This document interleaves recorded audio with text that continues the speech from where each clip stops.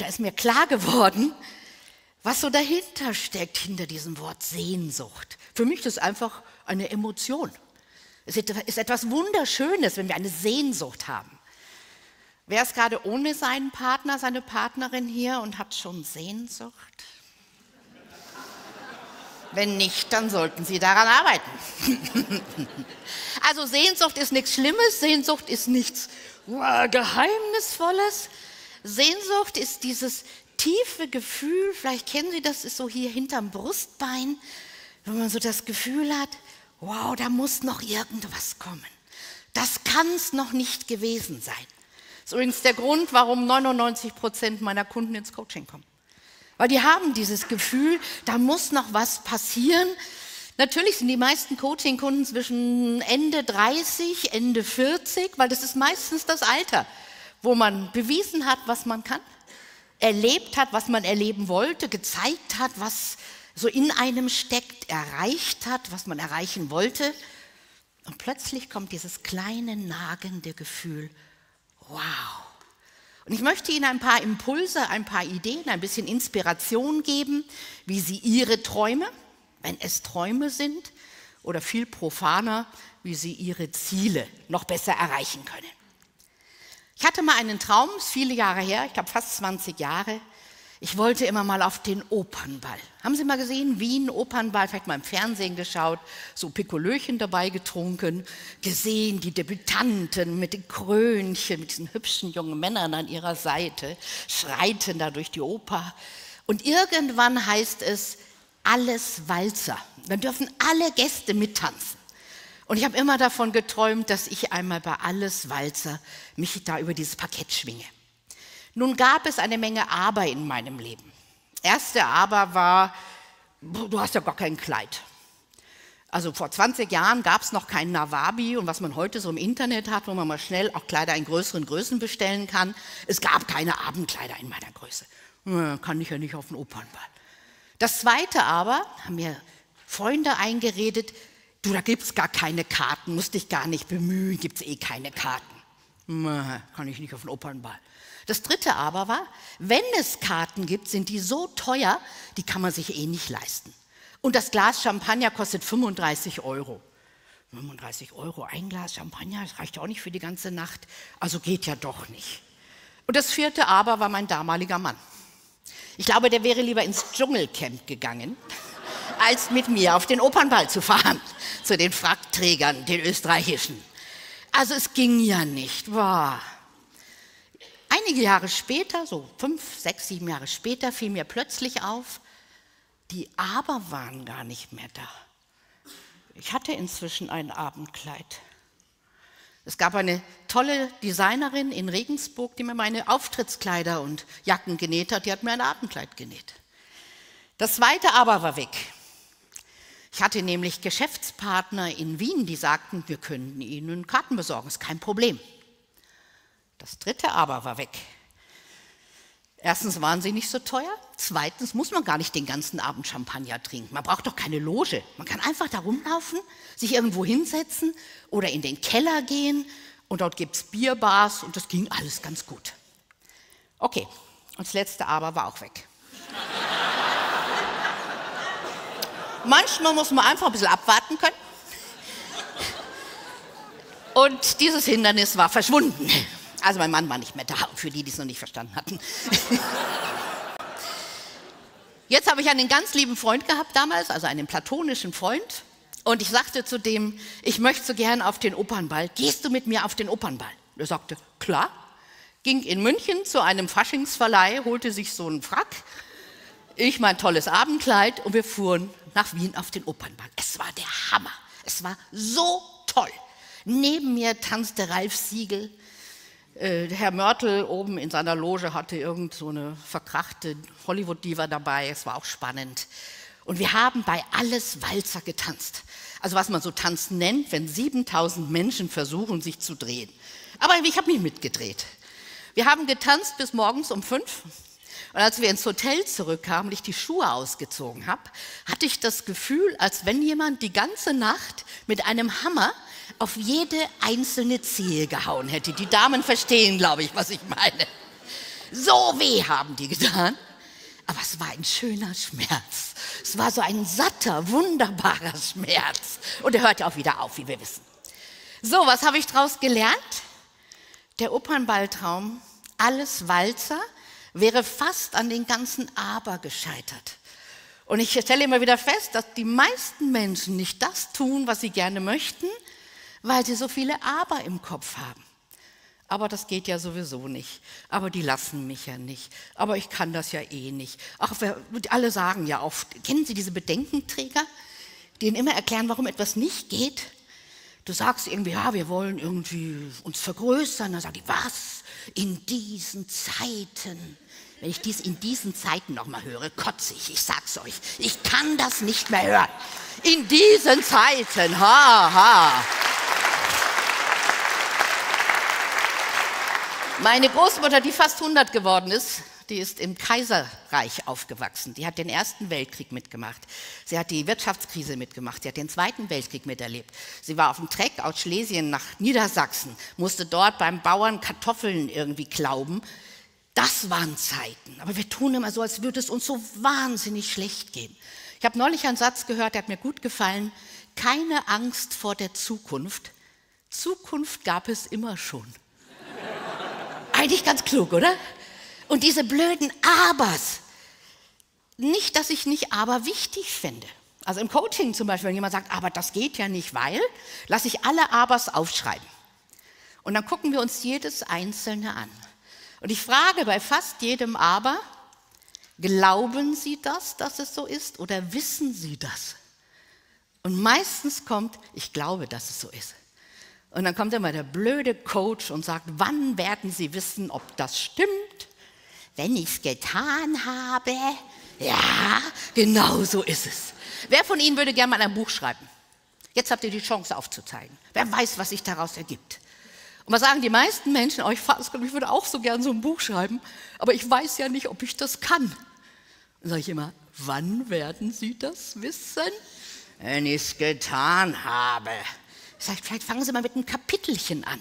Muss ja nicht gleich ein Buch sein mit 200, 300 Seiten. Schreiben Sie mal einen Artikel zu irgendeiner Sache. Wie wäre es mit einem Blog? Man muss nicht immer gleich ein Buch schreiben. Ich finde, viele Bäume sterben einen schrecklichen Tod für Bücher, viele Bücher. Und denken, muss nicht, muss nicht jeder ein Buch schreiben. Und einige meiner Bücher gehören vielleicht auch dazu. Ganz selbstkritisch kann man das hinterher sagen. Man hat besser erzogene Kinder und ein bisschen schlechter geratene. Aber diese Aber, die hindern uns überhaupt, es zu tun. Und deswegen, wenn Sie so Aber im Kopf haben, klopfen Sie sie ab. Ich habe zu Hause so einen kleinen Aberbesen.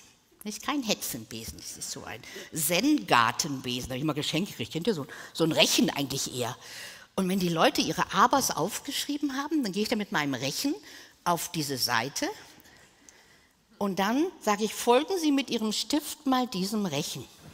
Das ist mein Aberbesen. Und dann ziehe ich den über den Satz und wenn die fertig sind, ist der durchgestrichen. Manchmal ist es so einfach. Und dann strahlen sie und sagen, stimmt auch eigentlich.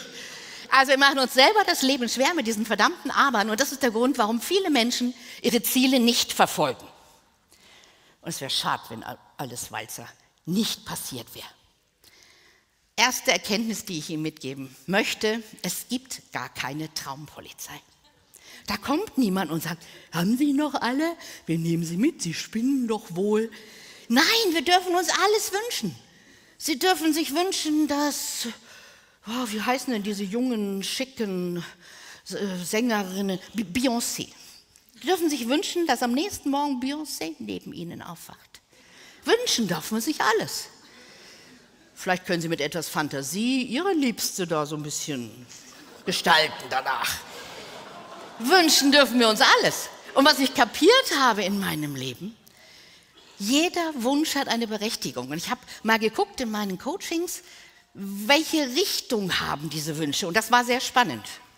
Ungefähr die Hälfte der Wünsche geht weg von etwas. Also ich will das nicht mehr haben. Ich erinnere mich, als ich noch äh, Journalistin war, war ich angestellt bei einer Münchner Zeitung und bin morgens immer mit der Straßenbahn, mit der Trambahn dahin gefahren. Und ich hatte über ein Vierteljahr einen immer wiederkehrenden Albtraum. Ich habe nämlich geträumt, dass ich mit der Straßenbahn dorthin fahre und kurz vor der Haltestelle, an der ich aussteigen musste, ist die Trambahn abgebogen. Also ich kam da immer nicht mehr hin. Und ihr könnt euch vorstellen, dass ich irgendwann kapiert hatte, hey, du willst da nicht mehr hin. Und dann habe ich kapiert, ah, das ist ein Traum weg von etwas. Manchmal hat uns jemand gekränkt und wir wollen das nicht mehr. Manchmal müssen wir Dinge tun, die wir nicht mehr machen wollen. Das ist weg von etwas. Vielleicht hat uns jemand zu oft eins auf den Dez gegeben. Weg davon. Und die andere Hälfte der Träume ist genauso spannend, ist ein Hin zu etwas. Also etwas zieht uns magisch an. Das können Menschen sein, das können Erlebnisse sein, ja, das können Träume sein von einer anderen Welt, von einem Leben mit Sinn, mit Hingabe und das zieht an. Und viele Kollegen und Experten sagen immer, ah, die Leute wissen immer, was sie nicht wollen, aber sie wissen ja nicht, was sie wollen. Für mich sind die völlig gleichberechtigt. Wenn ich weiß, was ich nicht mehr haben will, mache ich erstmal den Weg frei für das, was kommen kann. Also lassen Sie sich nicht einreden, äh, du sagst ja nur, was du nicht willst. Seien Sie froh, wenn Sie es spüren, weil viele Menschen spüren das nicht mehr, was sie nicht wollen. Die sind dumpf, gehen jeden Tag dahin und lassen sich jeden Tag kränken, lassen sich jeden Tag, weiß ich nicht, erzählen, was sie alles nicht können, aber sie spüren es nicht, es kommt hier nicht an im Herzen. Und dieses Weg von ist der erste Schritt auf dem Weg zum Traum. Die zweite Erkenntnis, wir sind nicht auf der Welt, um die Träume von anderen Menschen kaputt zu machen. Und das ist leider eine sehr deutsche Eigenart. Und ich will es an einem Beispiel erklären. Ich habe die auch. Ich musste vor einem Jahr etwa, als gerade die Lokführer und die Piloten gleichzeitig gestreikt haben, vielleicht erinnern Sie sich an diese Woche, von Frankfurt nach Köln. Ich saß in Frankfurt, es ging nichts mehr und es gab auch keine Leihwagen mehr. Also habe ich mich an Facebook erinnert, ich bin total gern auf Facebook, habe gesagt, hingeschrieben, kleines Post, ich muss heute Nachmittag von Frankfurt nach Köln, wer kann mich mitnehmen? Ich habe gedacht, schauen wir mal, sagen Sie mal Social Media, mal sehen, wie so.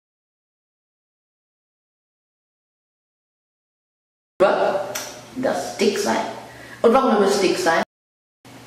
Ich bin Sabine Askodom, ich bin Autorin, Coach, Management-Trainerin und ich habe ein Buch geschrieben über das Dicksein. Und warum muss dick sein? Weil es mich mörderisch ärgert, dass wir Dicken zurzeit irgendwie in einer Hexenjagd verfolgt werden als die, die schuld sind am Klimawandel und am äh, Scheitern des Gesundheitsmarktes und ich weiß nicht was alles. Und ich möchte gerne Frauen A, diese Schuld nehmen und B, ihnen sagen, hey, das Leben ist zu kurz für Knäckebrot. Lebt euer Leben. Richtet euren Fokus weg von diesem starren aufs Dicksein hin zu glücklichem Leben. Ich habe in meinem Buch die fünf Ursachen, warum wir dick sind, aufgezeigt und das sind fünf T. T ist ein harter Buchstabe und die Fakten sind auch hart. Das erste T steht für Trance. Wir sind oft gewohnt zu essen. Wir haben uns angewöhnt, wie wir essen. Also wir denken gar nicht mehr darüber nach, wir essen im Stehen, wir essen im Gehen, wir essen zwischendurch, direkt aus dem Kühlschrank und wir merken gar nicht mehr, was wir gegessen haben. Das zweite T steht für Talent. Und das heißt, manche von uns sind so gebaut. Die Amerikaner sagen so schön, we come in different sizes. Und ich weiß, ich bin aus der Baureihe kompakt und ich werde keine 1,80 Meter große Elfe mehr. Und dann ist das so. Und sich damit zu versöhnen, das ist die Kunst. Das dritte T steht für Traurigkeit. Wir sind manchmal traurig über das, was wir erlebt haben, unsere Diätkarrieren. Viele Dicke fühlen sich als Versager, ich habe das nicht hingekriegt. Ey, warum bin ich so blöd? Warum schaffen das alle anderen? Und aus dieser Stimmung müssen wir wieder rauskommen. Ein T steht für Turbulenzen. Und das heißt, Stress macht dick. Das ist wirklich wissenschaftlich erwiesen. Manche macht Stress dünner, also die, die dünn gebaut sind. Und viele Menschen, die zu Übergewicht neigen, macht Stress richtig dick. Und da müssen wir aufpassen, dass wir andere Stressbewältigungsmethoden äh, lernen, um da rauszukommen. Den Ts gegenübergestellt habe ich Ls, weil L wie Lösungen. Und das heißt, wenn ich mich mit meinem Körper und mit meiner, meinem Übergewicht, mit meinem Dicksein, sagen wir es ruhig so, versöhnt habe, dann kann ich anders leben. Und deswegen heißt das erste L natürlich Liebe. Beginne dich selbst zu lieben. Das zweite L heißt Lust. Führe ein Leben, das dir Lust und Spaß verschafft. Dann brauchst du vielleicht nicht mehr das Essen als Trost.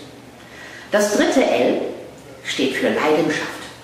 Das steht dafür, dass wir unser Leben wirklich in den, in, in den Griff kriegen, dass wir, das ist überhaupt nicht wahr, aber was mache ich jetzt? Und genieße jede Sekunde. In diesem, in diesem Kapitel habe ich die zwölf Schlüssel zum gelassenen Essen aufgezeigt, weil es wird Ihnen Spaß machen. Weil das ist richtig toll, worauf man kommt, wenn man mal darüber nachdenkt, wie wir anders leben können. Ein L steht für Leichtigkeit. Und ich vergleiche da unser Leben mit einer Schaukel. Und Sie kennen das alle als Kinder, wie wir geschaukelt sind, hin und her. Und diese Leichtigkeit, dieses fast fliegen können wieder zu erleben, das ist ein Ziel. Und das letzte L steht für Lachen. Und Lachen heißt, erkennen Sie an, dass Sie dick sind, lachen Sie drüber und leben Sie so, als wenn Sie dünn wären.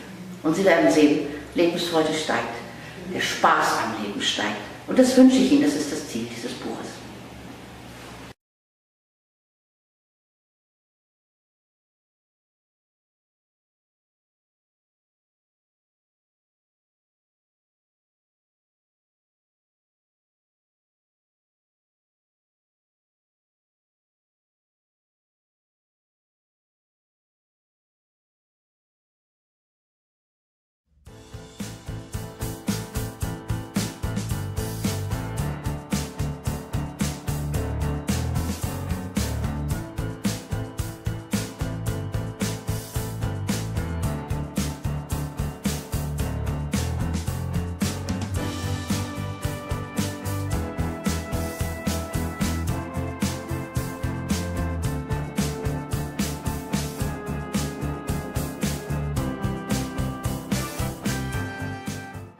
Geht darum, wie ich meine Ziele erreiche.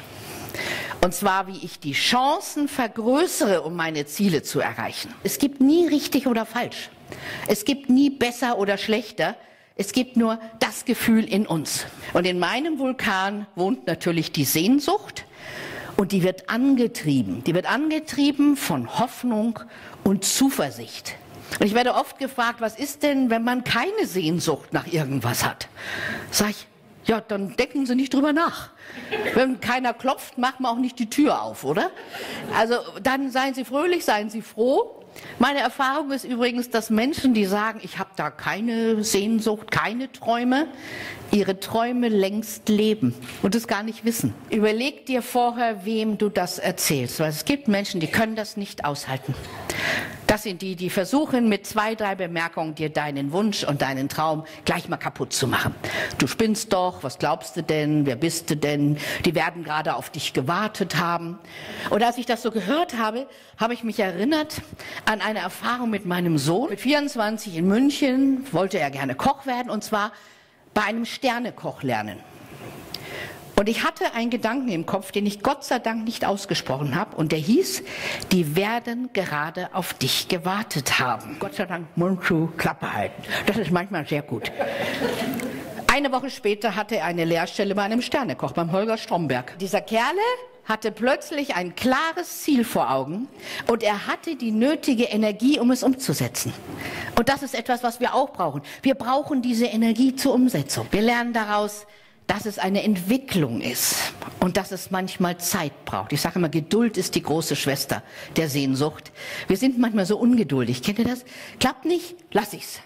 Äh, geht ja nicht? Oh, habe ich keine Chance. Und ich plädiere sehr für Geduld, weil manche Träume begleiten uns so durchs Leben. Das Leben ist eine Aneinanderreihung unzähliger Zufälle. Und jetzt kommen wir ins Spiel. Was das Leben uns schickt oder was sich ergibt, können wir nicht beeinflussen. Aber es ist wie beim Tennisspielen. Wie der andere aufschlägt, das kannst du nicht beeinflussen. Aber dein Return kannst du beeinflussen. Und dann kommt es darauf an, wie du stehst. Ob du gut stehst oder ob du nicht gut stehst. Und unser Part im Leben ist, ergreife ich die Chance oder ergreife ich sie nicht? Mache ich was draus oder mache ich nichts draus? Und da können wir das Leben ein Stück beeinflussen. Und das heißt, es ist eine ganz aktive Beeinflussung. Wir können nämlich aus Absicht und Zufall etwas machen. Stellt euch vor, wenn alles Zufall ist und du hast gar keine Absicht, dann rauschen die Zufälle so an dir vorbei. Aber wenn du ein Zielbild hast, wenn du weißt, was du eigentlich machen möchtest, dann machst du aus Absicht plus Zufall eine Chance. Je klarer so ein Zukunftsbild bei einem Menschen ist, umso größer ist die Energie, dieses Ziel zu erreichen. Die nächste Botschaft, die ich Ihnen noch mitgeben möchte, erfüllt sich der Traum, fängt meistens die Arbeit erst an. Also das ist auch ein Wahn zu glauben, wenn ich, wenn sich dieser Traum erfüllt, ist alles nur noch schön. Wir brauchen diese Geduld, um nicht zu schnell aufzugeben. Und deine Sehnsucht wird euch führen. Vielen Dank.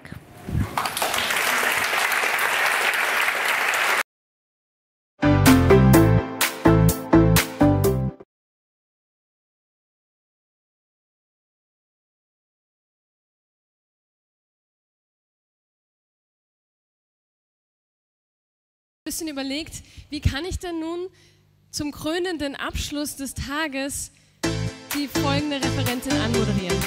Das ist echt eine Herausforderung, weil wahrscheinlich habt ihr mindestens eins ihrer inzwischen über 30 Bücher gelesen Ihr habt sie sicherlich auf dem einen oder anderen Kongress erlebt als Speakerin oder wart in ihren Workshops oder habt auf ihrer Website die ganz tollen Videos angeschaut. Das habe ich nämlich nochmal gemacht und habe mich noch mehr gefreut, sie live auf der Bühne zu sehen. Aber um so ein bisschen zu erzählen, was euch jetzt erwartet, erzähle ich euch zum Beispiel, dass sie mit drei Brüdern aufgewachsen ist. Das heißt, sie kennt sich mit Jungs, großen und kleinen, richtig gut aus. Außerdem ist sie nicht nur als Referentin unterwegs, sondern eben, wie gesagt, mit den Büchern. Das heißt, ihr könnt es auch nachlesen, ihr könnt es nacherleben. Als Schiedsrichterin auf dem Fußballfeld, das fand ich total spannend. Das kann man sich auch mal visualisieren, kann ich mir richtig gut vorstellen, voller Energie in diesen Männerthemen. Und worum es jetzt geht, sind die sieben Business-Rituale von Männern und was Frauen davon lernen können. Und ganz viel mehr möchte ich nicht sagen, außer dass sie außerdem noch Trägerin des Bundesverdienstkreuzes ist, finde ich auch hervorhebenswert. Und jetzt finde ich einfach, ist es deine Bühne, liebe Sabine. Wir freuen uns unglaublich. Bitte begrüßt mit einem großen Applaus unsere Schirmherrin Sabine Askodom. Vielen Dank. Ja, da bin ich wieder. Wie heißt es so schön? Nicht das Beste kommt am Schluss, sondern die Alte kommt am Schluss. Ha! Ich bin die Älteste von allen, die hier auf der Bühne waren. Ich bin nämlich letztes Jahr 60 geworden. Ich kann nur sagen, tolles Alter. Zwischen mit 61 noch tolleres Alter. Und es ist jetzt schon schwierig. Vielleicht können Sie sich das vorstellen. So nach so viel geballter Wissenspower, jetzt da noch was einzubringen, was ihr noch nicht gehört habt. Und das ist schwierig, weil es sind ganz viele Themen beschrieben worden, es sind ganz viele Tipps gegeben worden. Ihr habt jede Menge Übungen gemacht. Und jetzt am Schluss nochmal was reinzubringen, was vielleicht noch nicht da war. Ihr habt auch schon was über, über Männerriten gehört, wie Männer und Frauen unterschiedlich sind. Und ich habe gedacht, was ich wirklich einbringen kann, ist meine Erfahrung. Und was ich gelernt habe in meinem Leben ist in der Tat, alles braucht seine Zeit. Auf wie vielen Frauenkongressen war ich selbst als junge Frau und habe immer gedacht, warum bin ich, wie ich bin? Die anderen sind immer so viel weiter. Und ich habe gelernt, es ist eine Sache von Entwicklung. Und wenn Sie jetzt nach Hause gehen und morgen ist vielleicht noch nicht alles anders und Sie können nicht alles umsetzen, was Sie hier gehört haben, dann bitte seien Sie liebevoll mit sich selbst. Es ist alles eine Entwicklung. Was man vielleicht mit 61 weiß und was man vielleicht mit 61 sehr gelassen sehen kann, konnte ich vor 20, 30 Jahren überhaupt nicht gelassen sehen. Vor 30 Jahren war ich eine Frau mit zwei Macheten in der Hand. Und wenn ich gekämpft habe, habe ich gekämpft. Pam, pam, pam, meine Feinde fielen links und rechts zu Boden. Ich wartete durch Blut meistens männliches Blut. Und irgendwann habe ich gemerkt, hey, das ist so anstrengend, dauernd dieses Kämpfen. Und vielleicht könnt ihr euch auch vorstellen, mit zwei Macheten in der Hand hat man wenig Freunde.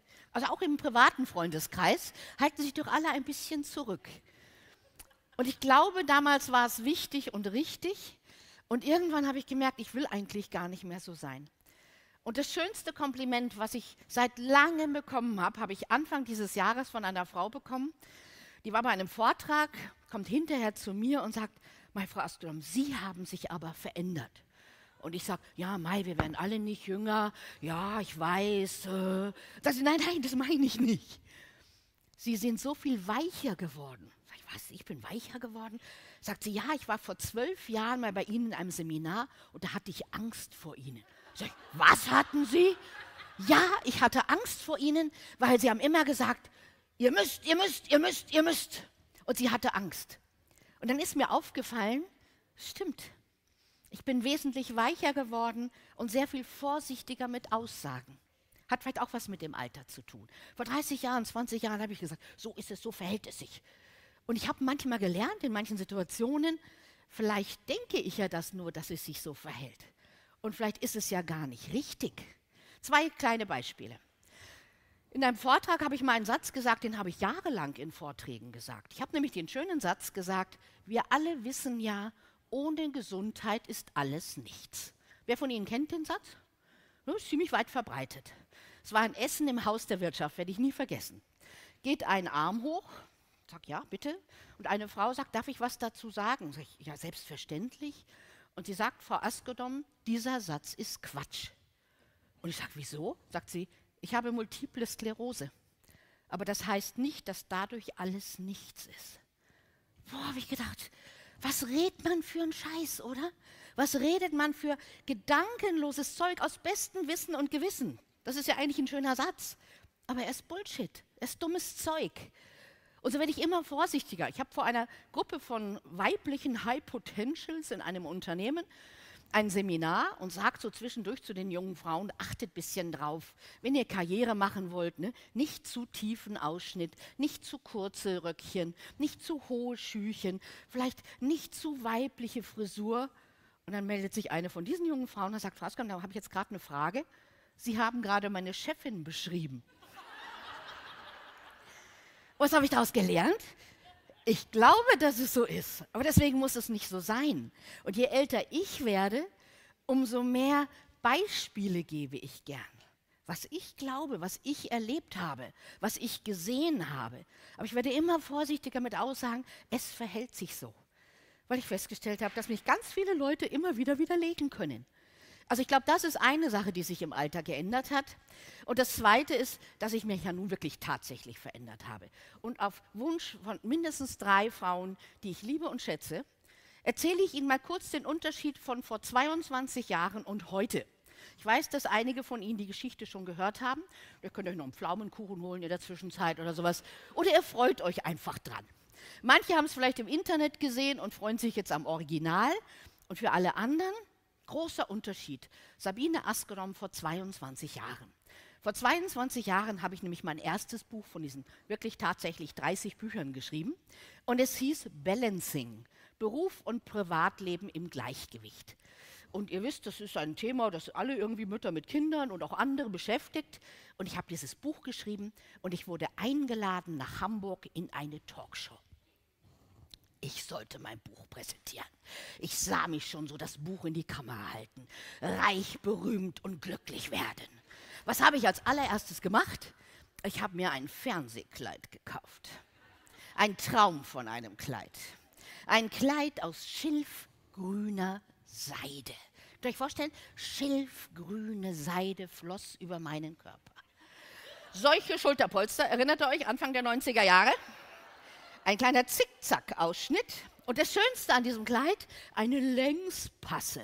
Und ihr wisst, längs streckt, genau. Ich war elfenschlank in diesem Kleid. Es war schweineteuer, aber ich wusste, es kommt ja millionenfach zurück. Ne, man muss auch mal investieren in den Erfolg.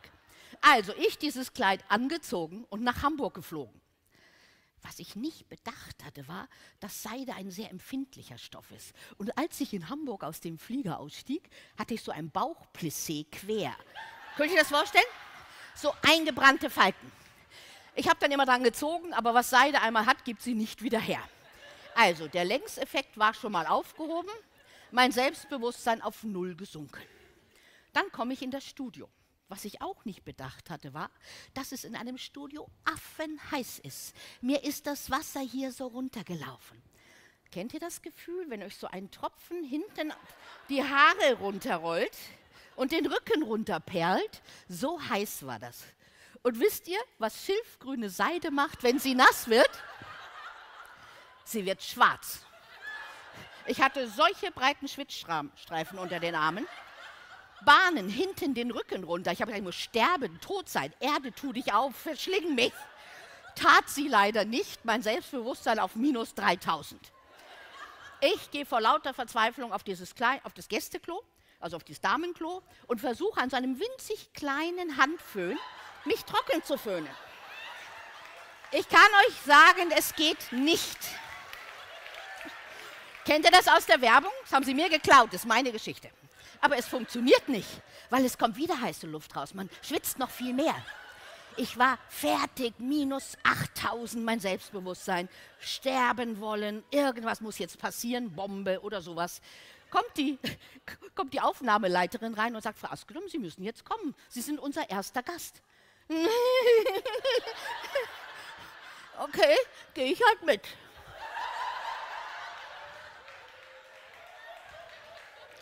Stehe so neben dem Moderator. Christian Berg von Radio Bremen werde ich nie vergessen. Christian Berg äh, hat also jeden Gast einzeln vorgestellt im Stehen, dann durfte man sich setzen. Christian Berg schaut mir an und sagt so, Frau Askedom, Sie haben ein Buch geschrieben. Und ich sage, mhm. Christian Berg gibt nicht auf und sagt, da geht es ja so um Familie und Beruf. Und ich sage, mm. Kennen Sie das? Wenn da nichts drin ist, kann da nichts rauskommen. Andere Leute müssen dafür jahrelang meditieren. Bei mir war das eine Sache von einer Sekunde, glaube ich. Gedankenstille, völlige Gedankenstille. Christian Berg wurde etwas nervös, es war schließlich eine Talkshow zwinkerte mir so zu und sagte, Frau Askelum, Sie selber haben ja auch Kinder. Und ich sage, mm, zwei. Und das war mein großer Auftritt. Ich durfte mich setzen. In meinem Hirn war der Teufel los. Kennt ihr diese kleine Stimme, die manchmal liebevoll mit uns spricht? Man nennt sie auch den inneren Kritiker. Und der sprach mit mir und der sagte, mach's Maul auf, red endlich. Das Blöde ist, je lauter diese Stimme wird, umso leerer wird nochmal das Hirn. Also ich wusste nicht mehr, wie ich heiße. Ich hatte ein Buch geschrieben, zu welchem Thema? Völliger Blackout. Also, ich darf mich setzen. Ich gehe auf diese Sitzgruppe zu und sehe plötzlich, das sind Clubsessel. Kennt ihr Clubsessel? Rund, gepolstert, tief, eng. Und es waren sogar eher Clubsesselchen. Und ich gehe auf dieses Clubsesselchen zu und denke, scheiße, da komme ich nie wieder raus. Nur während einer Live-Sendung können Sie nicht sagen, oh, ich bleibe lieber stehen. Ich musste in diesen elenden Sessel. Todesmutig ließ ich mich hineinplumpsen. Und während ich plumpste, machte mein schilfgrünes Seidenkleid ja, exakt. Und da wusste ich, ich komme nicht mehr raus, ich will es aber auch nicht. Ich saß anderthalb Stunden wie ein Vollidiot in diesem Clubsessel. Ich bin ja nicht sehr groß, also ich saß so. Ne, so. Die anderen Gäste kamen dazu, die haben sich super verkauft. Marketing at its best. Ihre Bücher, ihre Filme, sich selbst und ganz bescheiden dazwischen saß Frau Askodom. Ich glaube, zweimal haben sie mich noch was gefragt, dann haben sie aufgegeben. Gesagt, lass die Frau einfach in Ruhe, da kommt heute nichts. Hölle, Hölle, Hölle. Ihr kennt diese andere Stimme, nicht den Kritiker, sondern den Bösen in uns. Siehst du, hast du jetzt davon, du fette Kuh? Willst berühmt werden? Mac, Mac, Mac, Mac. Früher habe ich noch so mit mir geredet, schon lange nicht mehr. Also, es war richtig die Hölle. Blamage, Blamage. Anderthalb Stunden. Ich kam dann hinterher wieder raus. Es war auch nur die Innennaht vom Kleid. Es war alles gar nicht so schlimm. Aber ich habe etwas gelernt an diesem Abend. Und ich glaube, dass der wirklich einer der wichtigsten Abende und die Tage danach die wichtigsten Tage meines beruflichen Lebens waren. Nicht privat, beruflich. Weil ich habe einiges gelernt. Was habe ich gelernt? Erstens, Es ist Stress in einem Fernsehstudio. Wie kommst du auf die Idee, dass du das können können müsstest? Also wir überfordern uns auch manchmal. Kennt ihr das? Das hätte ich schaffen müssen. Wie, warum, warum ist mir da nichts eingefallen? Hätte ich doch hinkriegen müssen. Nein, das ist ein Blödsinn. Wir haben das oft nicht gelernt. Zweitens, Fernsehen ist Stress und Stress macht blöd. Kann man jetzt wissenschaftlich nachweisen. Es ist in der Tat so. Stress macht blöd. Ich war blöd in dem Augenblick. was habe ich noch gelernt? Du kriegst immer eine zweite Chance. Und wenn du dich besonders blöd anstellst, auch noch eine dritte und noch eine vierte. Also glaubt es nicht, dass die erste Chance alles entscheidet. Manchmal ja. Aber manchmal können wir es wieder gut machen. Und ich erinnere mich, ein halbes Jahr später, glaube ich, damals bekam ich eine Einladung von Schreinemarker Live. Kennt ihr das noch? Schreinemarker, ein bisschen strange, aber gut. Und da war ich zwar auch jetzt nicht grandios und nicht der Bringer, aber ich habe schon ganze deutsche Sätze gesagt. Nach dem nächsten Buch kam die nächste Einladung in die nächste Talkshow. Da konnte ich schon richtig atmen. Also, wie war das? Und bei der dritten Talkshow konnte ich schon Inhalte mit einbauen. Also manchmal braucht es alles ein bisschen länger. Aber es hat mein Leben wirklich verändert, dieses sich trauen, dieses rausgehen. Und das ist etwas, was ich allen Frauen gerne mitgeben möchte. Traut euch es zu tun, auch wenn es noch nicht perfekt ist. Weil wir warten oft auf den Augenblick, wenn wir so weit sind. Und dann machen wir ganz viele Seminare und ganz viele Coachings und ganze Trainings, alles wunderbar. Aber lernen tun wir es nur im Tun. Wir lernen es, indem wir auf eine solche verdammte Bühne gehen und glaubt mir, wer das noch nicht 38 Mal gemacht hat, dem zittern hier die Knie. Oder wir kriegen so hektische rote Flecken am Hals. Kennt ihr das? Das ist aufregend. Und sich zu trauen, das ist der Schritt zum, zum Gewinn. Das ist der Schritt zur Entwicklung. Wir entwickeln uns nicht, wenn wir uns nicht auf solche Bühnen trauen. Das kann eine solche Bühne sein, das kann eine Präsentation im Unternehmen sein, das kann das erste Kundengespräch sein. Erinnern Sie sich noch so? Und vor allem, wenn wir uns selber verkaufen, das ist viel schlimmer, als wenn wir Fliesen verkaufen oder irgendwas. Also das sind alles Schritte in unserem Leben, die, sich, ja, die uns dienen, uns zu entwickeln. Also, eine Sache, die ich gelernt habe, du kriegst immer eine zweite Chance. Tu's. Äh, ich hatte letzt, vorletztes Jahr eine Fernsehsendung im bayerischen Fernsehen, ich weiß nicht, ob es jemand gesehen hat, eine Coaching-Sendung. Und da hatte ich als Motto, mach's einfach, aber mach's einfach. Und das ist bis heute mein Motto. Tu es. Nutze Chancen. Ich bin jetzt nicht die große Planerin. Ich bin die Chancennutzerin. Ich habe noch nie einen Drei- oder Fünfjahresplan gemacht. Das bin ich nicht. Wahrscheinlich liegt es an der Nase oder an irgendwas. Oder Bäckchen. Wie war das mit den Bäckchen? Ne, irgendwas mit Bäckchen hat es zu tun, glaube ich, habe ich gelernt. Nein, ich habe immer Chancen genutzt und ich möchte das so gerne weitergeben. Nutzt Chancen, sagt ja, auch wenn ihr denkt, ich sterbe. Sterbt nicht, sagt ja und macht's. Und das ist vielleicht nicht einfach, aber das ist besser. Was habe ich noch in dieser Zeit verändert? Endlich kaum ist eine halbe Stunde vorbei, kommen wir mal zu dem Thema des heutigen Abends. Ich habe gelernt, dass Männer auch Menschen sind. Ich weiß nicht, wie euch das so geht. Aber ich habe das lernen müssen. Ich habe früher gedacht, mei, Männer sind irgendwie doofe Frauen. Und dann habe ich gemerkt, das ist Quatsch, das stimmt überhaupt nicht. Sie sind nur anders.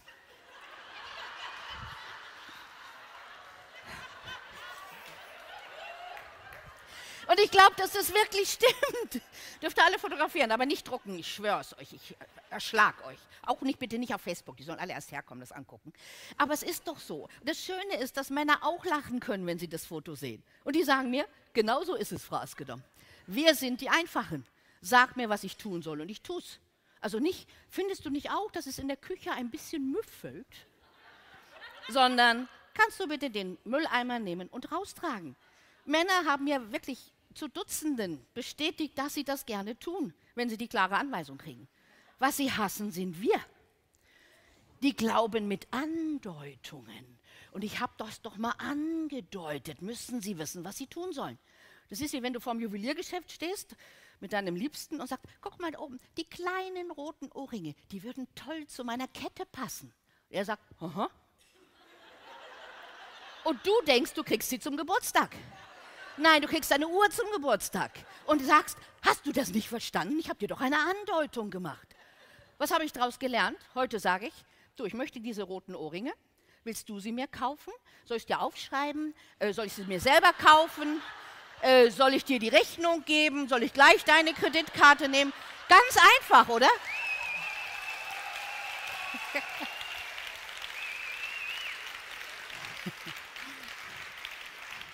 Und das hat nichts mit Werten zu tun, wirklich nicht. Also mit, mit jemanden bewerten.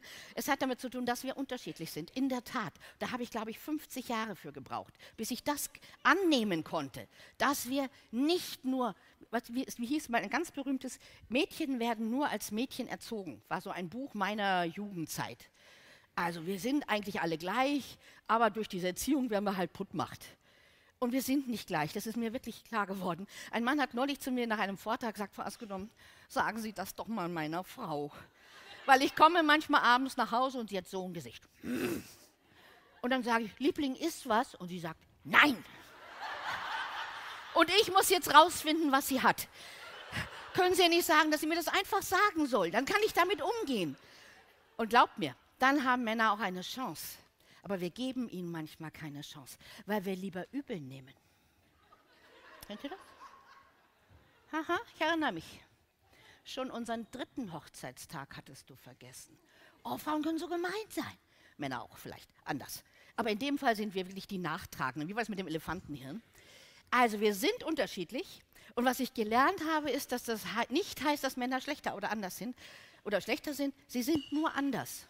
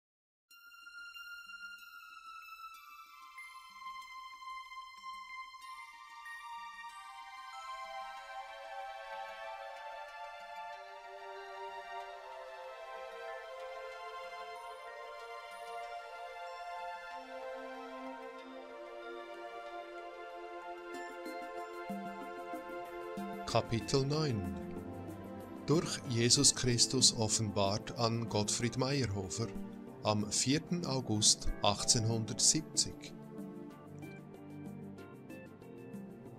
Mädchen, Jungfrau, Mutter und Weib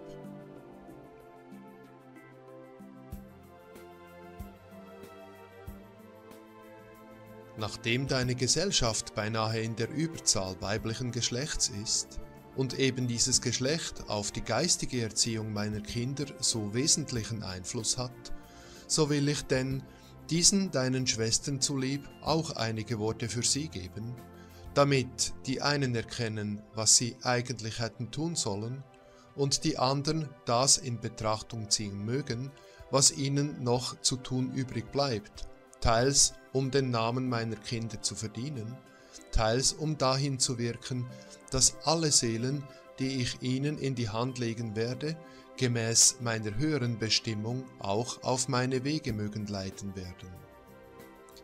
Also nun zur Sache. Wir wollen beginnen wie bei den vorigen vierfachen Diktat, das heißt mit der Jugend oder mit dem ersten Stadium als Kind oder im geschlechtlichen Ausdruck mit dem Mädchen. Zunächst nach der Geburt, wo noch kein geschlechtlicher Unterschied vorhanden ist in Bezug auf Triebe und Leidenschaften, wo das vegetative Leben nur allein das vorherrschende ist, da zeigt sich beim Knaben oder Mädchen kein anderer Unterschied als nur in der körperlichen Einrichtung, indem beim Mädchen der schwächere Organismus, der ruhigere, leidende passiv vorherrscht, während beim Knaben schon mehr das ungestüme und beweglichere Temperament durchleuchtet, was demselben später seinen Charakter gibt, im Vergleich mit dem sanfteren und schwächeren Mädchen. Diese Epoche ist also die nämliche bei beiden Geschlechtern.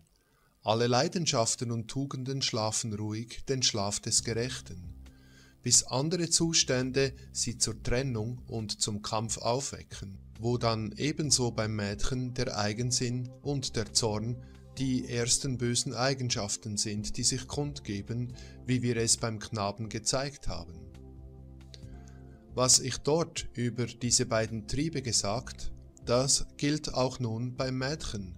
Nur ist hier der Eigensinn eine noch gefährlichere Leidenschaft beim Mädchen als beim Knaben, indem der Knabe im späteren Alter doch mehr Willenskraft besitzt, denselben eher zu bändigen, während das Mädchen, schwächer, nicht dem Reiz widerstehen kann und auch noch leichter in all ihrem Tun deshalb bestätigt wird, weil es als das schwächere Geschlecht überall Nachgiebigkeit findet, welche Nachgiebigkeit gegen seinen Trotz aber später der Jungfrau und Mutter böse Stunden bereiten wird, indem sie alsdann mit dem anderen Geschlecht in Berührung kommt das von mir selbst bestimmt wurde zu herrschen und nicht beherrscht zu werden. So viel also über diese beiden Eigenschaften. Wer von deinen Schwestern Kinder zu erziehen hat, beachte wohl diese beiden Giftkräuter, die, so sehr das Weib geschaffen ist, überall, wo es nur auftritt, den Frieden und Segen zwischen aufgeregten Gemütern herzustellen, ebenso im Gegenteil den schönsten Himmel zur Hölle verwandeln kann, wenn das Weib diese bösen Eigenschaften zu bezwingen nicht die Kraft hat, woraus dann die schlimmsten Folgen erwachsen, nicht nur für das eigensinnige und zornmütige Weib selbst, sondern auch auf Kind und Kindeskinder, wie ein krebsartiger Schaden sich fortpflanzen was beim Knaben mit seinen fortschreitenden Jahren die Kampfeslust, das stärker als andere sein und über seine Kameraden herrschen wollen, eine Lieblingsneigung ist, das ist im Gegensatz beim Mädchen die Eitelkeit. Der Knabe möchte als der stärkste, gewandteste und gescheiteste von seinen Mitgespielen angesehen und als solcher gefürchtet sein. Das Mädchen dagegen möchte die schönste und bestgekleidete und reizendste unter ihren Freundinnen sein, sei es im Staatenleben verbreitet hat. Während gerade diesem Geschlechte von mir die Palme des Sieges durch seine passive Macht der Sanftmut über die ungestümen Leidenschaften des Männlichen zugedacht war, triumphiert es jetzt durch die Künste des Satans, verführt und leitet den Mann statt zum Siege durch die Liebe zum Untergang und gänzlichen Verfall durch seine Herrschsucht, so dass ich jetzt wieder einschreiten muss, um den Mann aus diesen mit Dornen umwundenen und von mir aus seinen vollendeten Rosenketten zu befreien und aus dem weiblichen Herzen diese schlechten und bösen Leidenschaften durch Elend, Armut und Krankheit auszutreiben damit meine Schöpfung wieder ins rechte Geleise kommt, in welchem das Weib die Stütze oder die Gehilfin des Mannes, der besänftigende, nicht aber der befehlende und allein kommandierende Teil auf dieser Erde sein soll. Ich habe euch alles dieses vorausgeschickt, um euch zu zeigen, wohin eigentlich dieses mit so vielen edlen Eigenschaften von mir aus veranlagte weibliche Geschlecht gekommen ist und dass nur noch in wenigen Herzen bessere Gefühle als Ehrgeiz und Putzsucht Platz haben. Ich habe euch gezeigt, wie ein Funke in der Jugend wenig beachtet, einst zum Brande angefacht, heilloses Unglück um sich her verbreiten kann, damit ihr seht, vor was ihr euch selbst zu hüten habt und vor was ihr eure Kinder schützen sollt. Jetzt wollen wir das Bild von einer anderen Seite betrachten, nämlich von der Seite, wie ich eigentlich das Weib schuf, wie ich alles in es hineinlegte, um meinem Zweck nicht hinderlich zu sein. Ich will euch jetzt das Weib in seinen vier Epochen darstellen, wie es sein sollte, wie es nur allein auf diesem Wege zu meiner Kindschaft gelangen und so seiner Aufgabe auf dieser Erde vollständig entsprechen kann. Was bei der Erziehung notwendig ist, habe ich euch am Anfang angedeutet. Suchet das Herz eines Mädchens sanft zu erhalten, erwecket bei Zeiten die Liebe, die alles besänftigende Liebe zu mir und zum Nächsten, erwecket das Mitgefühl in ihr, denn wenn ein Herz die Leiden eines anderen Menschen fühlen lernt, so sucht es auch Hilfe dagegen, so viel ihm möglich. Mitgefühl erhält das Herz weich und bereit zu helfen, wo es kann, und entfernt viele andere böse Gelüste und Gedanken, die sonst in einem stolzen Herzen den Platz für sich allein einnehmen würden. Mitgefühl leitet zur Achtung, Gleichheit mit seinem Nächsten und ist gerade das entgegengesetzte von Stolz, welchen der Wahn beherrscht, etwas Besseres als andere zu sein. Mitgefühl, diese Blume aus der Krone der Nächstenliebe, versüßt das Leben, sänftet jeden Schmerz und tröstet in jedem Verhältnis. Und wem habe ich gerade mehr Mittel gegeben, dieses Mitgefühl am wirksamsten auszuüben?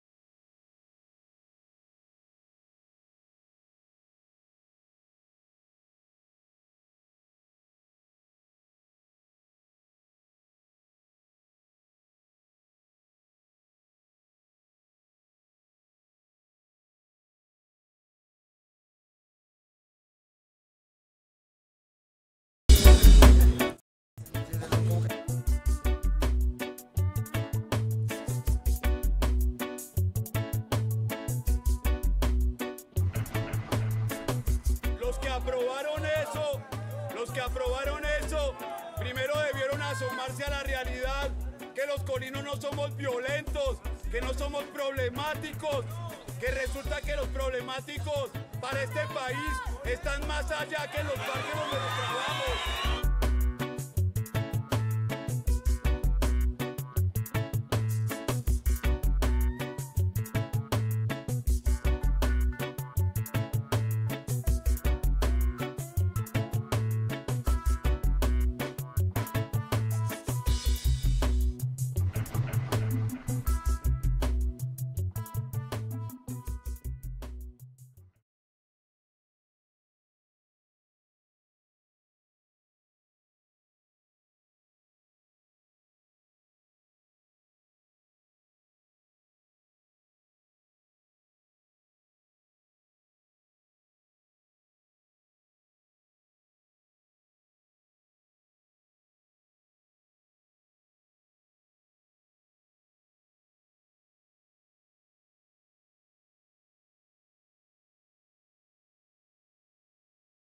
Ernährung schadet Kindern.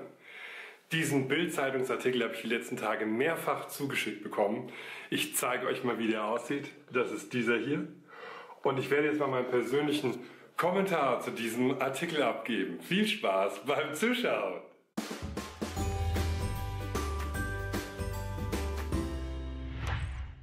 Zum ersten muss ich sagen, dass ich die Bildzeitung nicht lese und auch nicht online verfolge. Ich gucke auch kein Fernsehen und äh, habe mit Mainstream-Medien und mit dem Staatsfunk nicht viel zu tun. Aber viele Leute äh, lassen sich davon inspirieren, teilen das dann auf Facebook oder äh, schicken Mails rum. Und dieser Artikel ist ziemlich ähm, intelligent aufgezogen, ziemlich verzerrt. Und ja, wir gucken dann nur mal kurz rein und dann sage ich mal meine Meinung dazu. Ich muss mein Display gerade mal umdrehen. Ja, ein tolles Bild hier im Kind, was irgendwie anscheinend Kartoffelbrei mit Spinat essen soll. Oh, das schmeckt ja nicht, da fehlt, da fehlt die Wurst.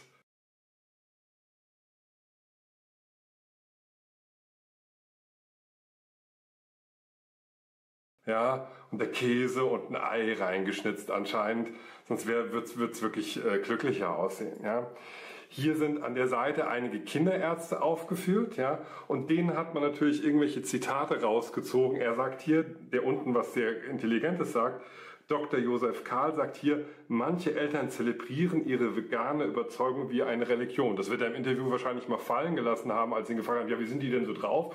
Ja, kommt, wird hier auch kurz ähm, erwähnt, äh, dass irgendjemand gesagt hat, genau, als ich sie auf die Gefahren aufmerksam machte, sagten sie nur, Jesus hat auch kein Fleisch gegessen. Aha, also alle Veganer sind religiöse Fanatiker. Dem kann ich nichts zustimmen. Die meisten, die ich kenne, machen das nicht aus religiösen Gründen. Und ähm, ja, hier ist noch eine Kinderärztin aus Bad Homburg sogar. Es gibt einen Zusammenhang zwischen Veganismus bei Kindern und Magersucht. Das kann man vielleicht sogar irgendwie hm, auch aus dem Zusammenhang vegane Ernährung noch nicht empfiehlt. Ja, das ist korrekt. Die hängen völlig hinterher in Amerika. Ich hoffe, ich finde den Artikel. Wenn, dann verlinke ich ihn euch unten in der Infobox. Krebswachstum. Also wenn, was er da empfiehlt, ist gar nicht schlecht. Nur dieser Artikel ist genau umgekehrt. Ich habe letztens für einen Kunden von mir ein Video produziert, der heißt der Bildindikator. Da geht es darum, wann man Gold kaufen soll Fleisch und Käse und Eier geben möchte, dann muss man auf das und das achten, dass die mehr davon essen. Ein sehr, sehr gutes Buch sollte eigentlich in jedem Haushalt von Veganern stehen, die vor allem Kinder haben. Dann ganz klar, äh, wird hier auch kurz drin gesagt, ja, Mangel an Jod und da, da, da, Jod überhaupt kein Problem, nimmt man halt das äh, Jodsalz von Rapunzel. In fast allen Fertigprodukten ist sowieso dieses blöde Jodsalz mit drin. Ja, das Rapunzel, das Jod ist ja aus Algen. Wenn man regelmäßig Algen isst, hat man da gar kein Problem mit. Eisen auch kein großes Problem, wenn man immer ein bisschen die richtigen Sachen isst. Gibt es genügend Videos zu dem Thema. Ähm, dann äh, Proteine, ganz klar. Ich mache auch mittlerweile Erbsenprotein in unsere Smoothies mit rein. Das Lysin, da findet ihr übrigens auch ein kostenloses PDF, verlinke ich euch auch unten in der Infobox auf unserer Webseite vom Dr. Jakob. Der hat äh, das beste Buch geschrieben über Ernährung generell und das ist nicht vegan, es zeigt, was man essen sollte und was nur ganz wenig. Und da könnt ihr diesen Ernährungsplan kostenlos runterladen, da, da steht alles drin und da soll man halt auch darauf achten, dass man genügend Hülsenfrüchte isst, genügend Lysin und ich supplementiere das zum Beispiel als Erbsenprotein. Schmeckt sehr gut, da schmecken dann die Smoothies mehr so wie ein Milchshake. Was man auf jeden Fall supplementieren muss, ist B12. Wir haben so Lutschtabletten, es gibt Leute, die haben so Sprays, die haben so Tropfen. Egal, das sollte man auf jeden Fall machen, wenn man sich 100% vegan ernährt, sollte man B12 supplementieren. Und jetzt kommt nochmal eine Frage an den Professor Dr. Leitzmann zum Thema, kann man seine Kinder vegan ernähren? Kinder gelten ähnlich wie Schwangere, Stillende, Kranke und alte Menschen als die sogenannten Risikogruppen, wenn es zur Ernährung kommt. Und sicher muss man in, in, bei diesen äh, Bevölkerungsgruppen auch besonders Acht geben, dass es wirklich richtig gemacht wird. Aber ich kenne ganz viele Familien, Vegetarier sowieso, aber auch Veganer, die sich gut auskennen, die geben ihren Kindern genau das, was sie selber essen. Und da gibt es überhaupt keine Probleme. Man muss da also nichts Besonderes beachten.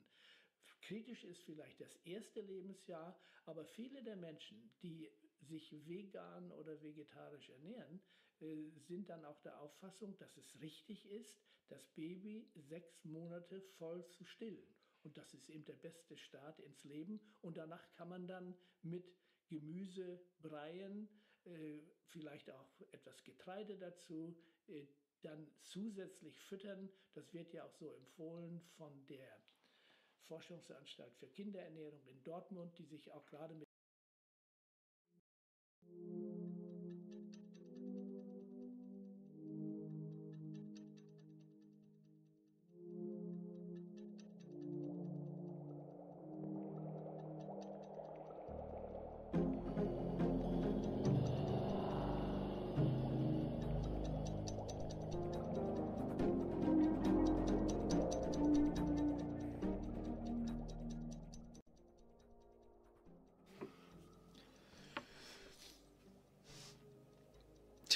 wie soll man jetzt am besten anfangen? Menschliche Blutbahn ist ein doofes Wort. Ader, Lebensader, Wasserader, das ist ein gutes Wort. Ja, mal zum Thema Wasserader im menschlichen Körper. Ja, das Wasser, das Wasser überhaupt, ja, das Wasser baut sich bekanntermaßen ja seine Wasserwege selbst. Und ja, das macht es überall. Es gehorcht überall denselben Gesetzen.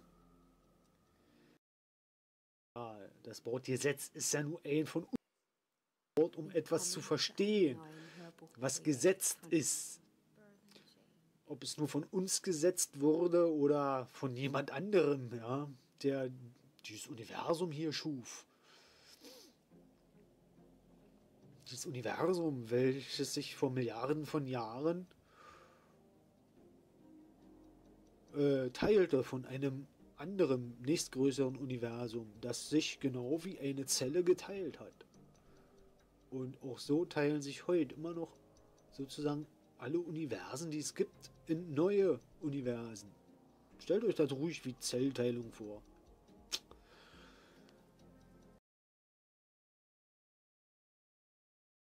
Wichtigsten Entgiftungssymptome. Ja, es geht mal wieder um Ernährung heute. Im Moment beschäftige ich mich einfach viel mit Ernährung, beziehungsweise bin viel am Entgiften und deswegen, weil es bei mir gerade ein aktuelles Thema ist, deswegen man kann immer das am besten lernen, was man gerade selber erfährt. Und ich denke einfach die fünf wichtigsten Symptome, woran man erkennt, wie stark man entgiftet, was Entgiftung, was Heilung ist und Krankheit und so weiter. Und was das, wie das Ganze zusammenhängt, das hatte ich in anderen Videos nochmal beschrieben. Müsst ihr einfach mal drunter schauen, werde ich nochmal ein paar Links zu drunter stellen. Ähm, ja, aber es gibt nur Krankheit und Gesundheit.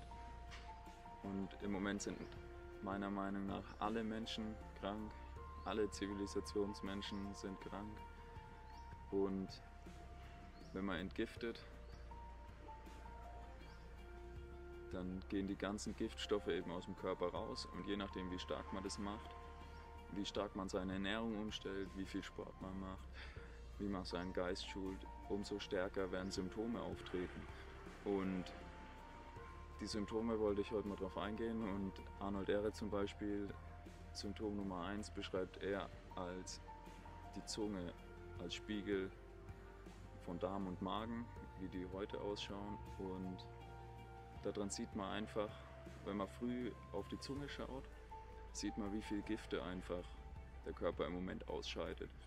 Und je nachdem, wie stark die Zunge belegt ist, oder auch wenn man die Zunge abschabt, mit, es gibt auch so einen ayurvedischen Zungenschaber oder so, je nachdem, wie schnell die Gifte nachkommen, je nachdem, wie schnell die Zunge wieder belegt ist, umso mehr seid ihr gerade am Entgiften. Daran kann man das einfach perfekt sehen und da kann man mal so vergleichen, wie stark das gerade ist im Moment und dann kann man auch schauen, ob man mal vielleicht langsamer machen sollte mit seiner Ernährungsumstellung oder mit dem Sport und so weiter und je nachdem, wie man sich eben fühlt.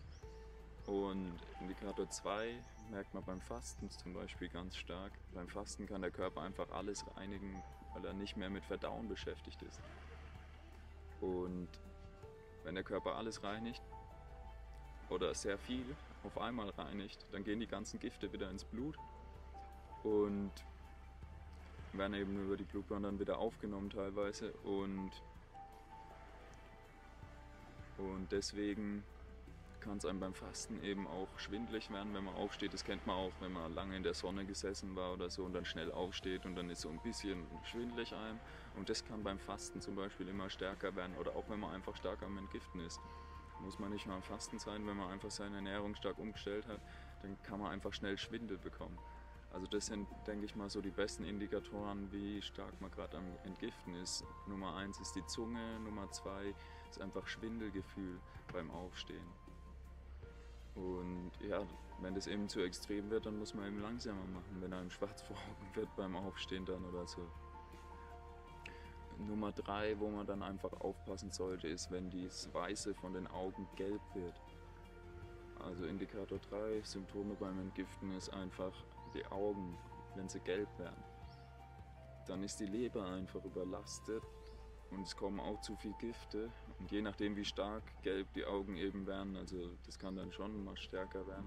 Wenn sie nur ganz leicht gelb sind, braucht man sich da keine Gedanken machen. Aber wenn es zu stark wird, dann sollte man wirklich langsamer machen, Einläufe eventuell machen. Und um, das, um den Körper einfach ein bisschen zu unterstützen. Punkt Nummer 4 an Entgiftungssymptomen sind die Fingernägel. Die Fingernägel wie stark die Fingernägel einfach durchblutet werden. Das ist dann auch das am Anfang so, wenn die Rohköstler am Anfang frieren im Winter, da ist die Entgiftung einfach zu stark. Der Körper wird nicht mehr so stark durchblutet, Hände, Füße sind einfach am weitesten weg, die Extremitäten, und die werden nicht mehr so stark durchblutet. Wenn das Fingernagelbett, Fingernagelbett, hier sieht man einfach, wenn es weiß ist, wenn es stark weiß ist, dann werden die Finger einfach nicht mehr gut durchblutet, dann friert man auch im Winter. Dann kann man selbst im Sommer sogar frieren, wenn man stark am Entgiften ist. Und ja, dann sollte man auch wieder langsam machen, den Körper vielleicht unterstützen, vielleicht auch Einläufe. Ja. Und wenn normalerweise ist das Fingernagelbett eher rot, rosafarben und wenn es eben gut durchblutet ist. Und umso weißer das wird, umso mehr ist man gerade am Entgiften. Da kann man immer ja selber individuell schauen, wie stark das variiert bei einem. Dann hat man auch einen guten Anhaltspunkt und auch wie man sich fühlt dann mit den anderen Symptomen. Punkt Nummer 5 an Entgiftungssymptomen sind einfach so allgemeine Sachen. Habe ich jetzt einfach mal zusammengefasst. Alles ist eigentlich Entgiftung. Jede Krankheit ist Entgiftung. Alles, alles ist Entgiftung. Dazu müsst ihr vielleicht nochmal ein anderes Video von mir anschauen. Verlinke ich auch nochmal drunter, was Krankheit überhaupt ist. Und ja, das können dann ganz banale Sachen sein, Übelkeit, je nachdem, was man gerade entgiftet. Bei dem einen, der hat die Medikamente genommen, das geht alles dann wieder raus. Der Normalbürger hat halt zweimal was von dem Schrott, den er isst. Einmal, wenn man es isst, dann ist man schon müde und es geht einem schlecht. Wenn man Schweinshaxe isst, dann ist man danach total müde. Wenn ich Rohkost esse, dann bin ich danach nicht platt. Ich habe den ganzen Tag Energie, mein Energielevel geht nicht runter. Und wenn man was Schlechtes isst, dann geht es einem nach dem Essen schlecht. Und dann meistens lagert es der Körper beim normalen Menschen ein, weil er nicht die Energie hat, das gleich wieder zu entgiften.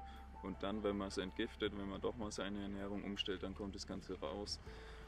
Und dann hat man noch mal was davon. Und je nachdem, was man für Medikamente dann genommen hat, hat man eben die auftretenden Symptome. Je nachdem, wo man es dann entgiftet. Man kann es durch Ausschwitzen, wenn man schwitzt. Normalerweise schwitzt man auch viel weniger, wenn man dann mal wirklich jahrelang entgiftet hat und jahrelang sich von Rohkost ernährt, Mono. Und